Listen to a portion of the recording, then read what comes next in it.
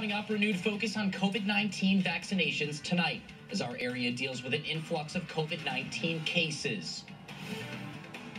It'll be that data that, that shapes our decisions. Plus, local colleges prepping for the spring semester, sharing their plans for bringing students back in safely.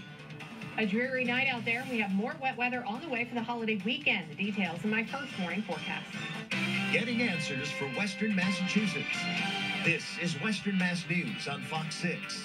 Welcome to Western Mass News at 10. I'm Matt Satilli. Chris and Jordan are off this evening. We begin focusing on the COVID 19 vaccination effort coming off the Christmas holiday and a recent surge of COVID 19 cases. Western Mass News reporter Kristen Burnell checked in with a local vaccine clinic, and she joins us live in studio with more.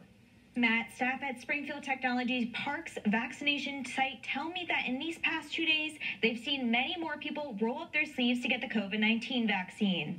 So recently we have seen an uptick, uh, lots of people coming in for first doses, obviously lots of boosters, and a majority of uh, children coming in, which is wonderful to see. Staff at the vaccination clinic at Springfield Technology tell Western Mass News that they are seeing well over 600 people a day, a huge increase from when they first opened two and a half months ago. Local residents sharing